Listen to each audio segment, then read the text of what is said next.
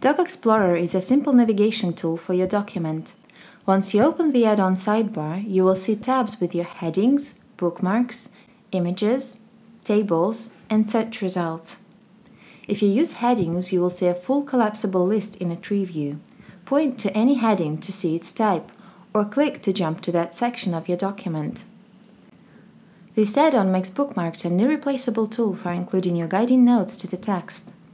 They are all listed here so you can quickly go to the bookmarked place or get a link to it. Add new ones right from the sidebar, rename them as you like, or delete those you no longer need.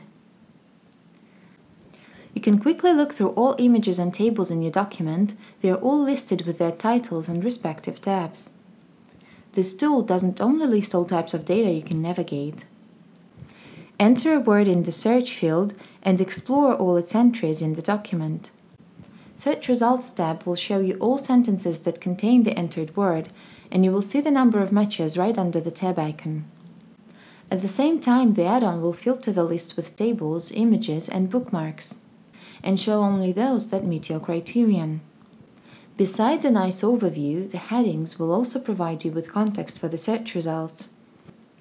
Here you can preview the found sentences and click to see them in your document. We hope that you'll find this add-on helpful. If you have any questions about it, please post them to our community.